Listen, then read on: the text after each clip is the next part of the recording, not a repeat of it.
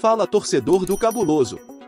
Se inscreva no canal agora para ficar por dentro de todas as atualizações que faço sobre o Azul Celeste em primeira mão para você. O Cruzeiro segue ágil no mercado e quer repatriar um medalhão para 2023.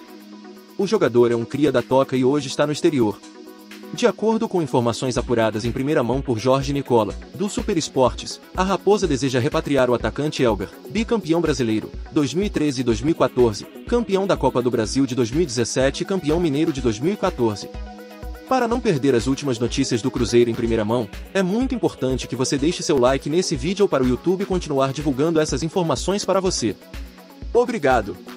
Continuando, em busca de atacantes para 2023, a diretoria do Cruzeiro sondou o atacante Elber, de 30 anos, revelado na Toca da Raposa.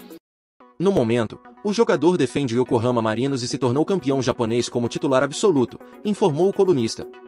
Nicola ainda deixou claro que uma possível negociação não é fácil tendo em vista que o jogador é titular absoluto no futebol japonês.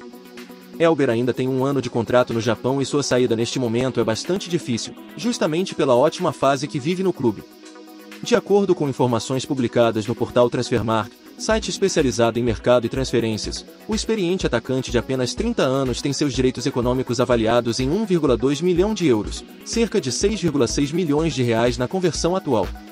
Ainda conforme dados levantados pelo portal SofaScore, na última temporada, jogando pelo Yokohama Marinos na Liga Japonesa, em que ele foi campeão, ele entrou em campo 29 vezes e somou 13 participações em gols.